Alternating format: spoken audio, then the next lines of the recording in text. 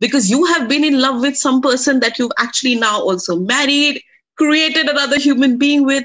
I think Yeah. love is beautiful, but is love enough to make a relationship work? That's question one. And second, how do you make love last?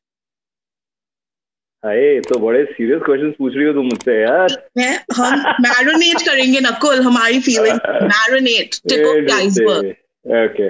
Uh, I would say love is a lot, uh, but besides that, you need to be able to find uh, companionship, respect for each other, uh, understanding. Anybody you love, I think all of this automatically sort of falls in place, right? So, is love enough? On most days, yes.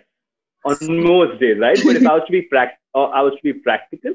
In my case, uh, I've I don't think I've had to work hard uh, to keep the love, like at least, I mean, you'll have to ask Janki that, but uh, mm-hmm. not for me.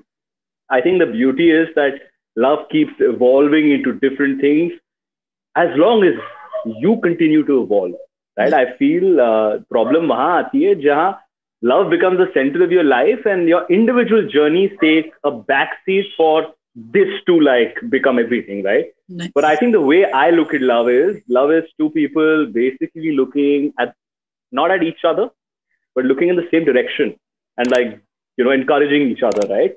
And uh, Janki and I have been very fortunate to have that. We met each other when we were in college. We found our careers together. Sort of, she pushed me, I encouraged her.